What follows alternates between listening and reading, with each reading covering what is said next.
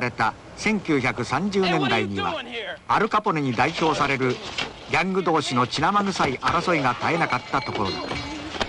その街角で私たち取材班は突如縄張りを口実とする町のチンピラどもに襲われた。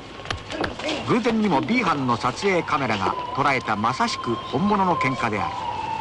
あっという間に13人をノックアウトしてのけたシカゴ支部長三浦美幸師範極真空手戦わばの威力を見よ。